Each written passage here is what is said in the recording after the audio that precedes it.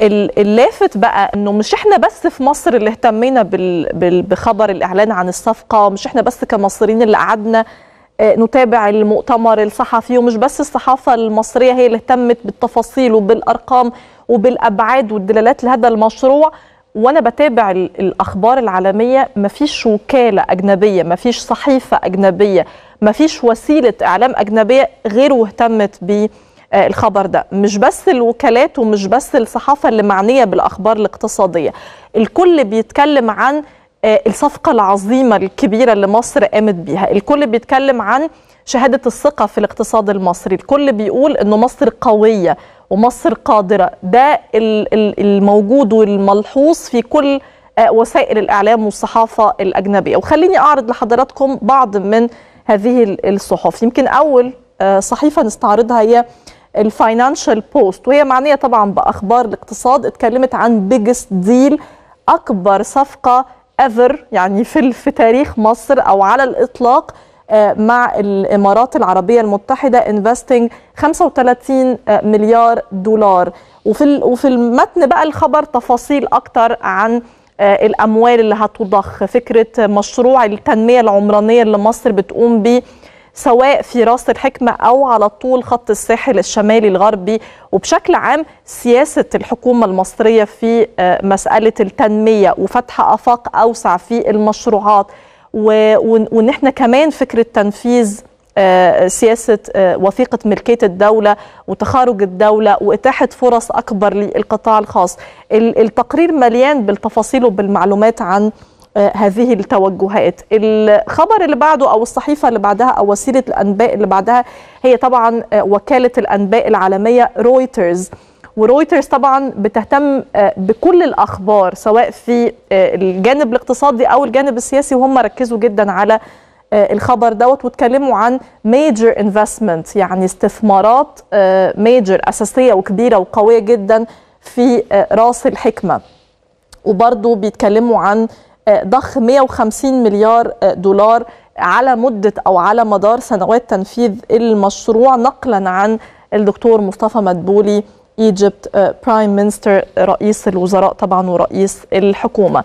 مش بس رويترز ومش بس Financial Post كمان بلومبرج الحقيقة اهتمت جدا بأخبار الإعلان عن أكبر صفقة في تاريخ الاستثمار المباشر في مصر واتكلمت عن biggest deal ever أكبر صفقة على الإطلاق مع الإمارات العربية المتحدة واتكلمت عن ال 150 مليار اللي هيتم ضخها واتكلمت عن الخطوات اللي مصر بتاخدها في مجال التنمية العمرانية والخطى الكبيرة والواسعة والشوط الكبير اللي إحنا قطعناه في هذا المجال في راس الحكمة. ورجعوا كمان اتكلموا في التقرير عن العالمين الجديدة واللي حصل فيها والشغل اللي شاهدناه ده يمكن الصحافة الأجنبية وده بيعكس النهارده زي ما بقول لحضراتكم إنه المشروع دوت ما هواش بس صفقة اقتصادية وانتهى الموضوع عند الحد دوت المشروع دوت بيعكس ثقة العالم في الاقتصاد المصري وبيعكس كمان ثقة المستثمرين أيا كان هم منين. طبعا إحنا عارفين أنه علاقتنا بالإمارات علاقة قوية جدا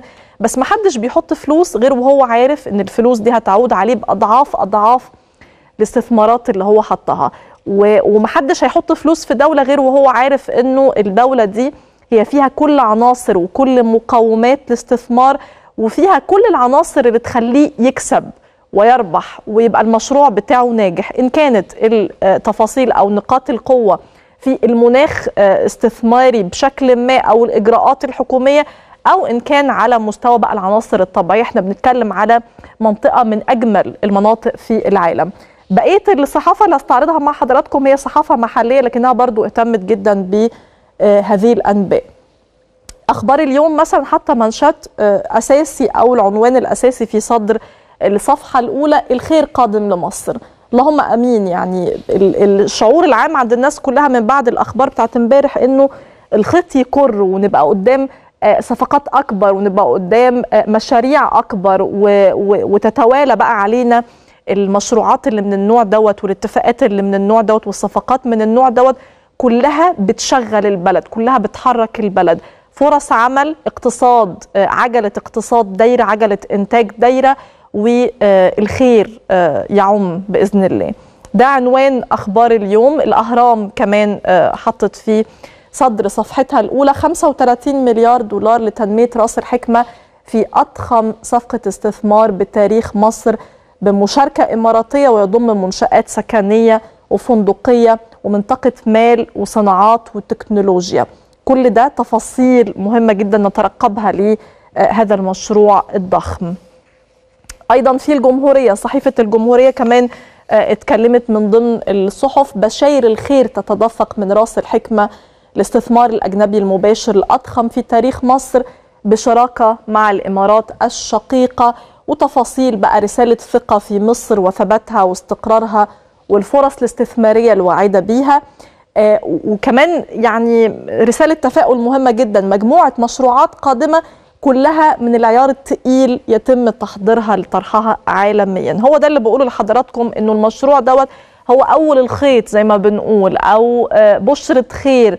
تتوالى بعديه على ما يبدو كده من اللي إحنا بنعرفه من الكواليس إنه هيكون في صفقات أكبر وأكبر وصفقات كلها تحمل الخير وكلها عبارة عن شهادات ثقة في الاقتصاد المصري.